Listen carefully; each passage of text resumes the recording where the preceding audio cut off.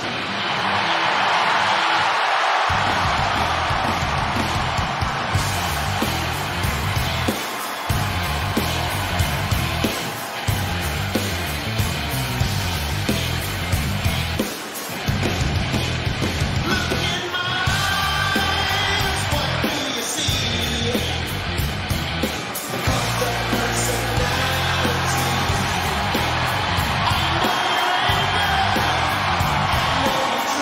CM Punk knew what was coming, and now, as you can tell, he knows what it feels like.